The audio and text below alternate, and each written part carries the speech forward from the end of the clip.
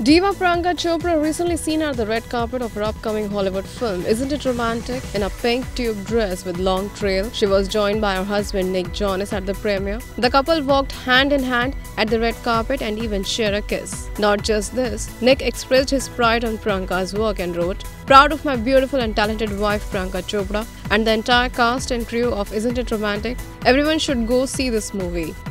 Check out a few inside pics also which is shared by Priyanka herself on her Insta stories. Obviously PC's fans are very much excited about it. If talk about Bollywood project, Priyanka will be seen in The Sky is Pink along with Farhan Akhtar and Zaira Wasim. On the other hand, Priyanka and Nick got married in December 2018 and have been giving us major relationship goals since then.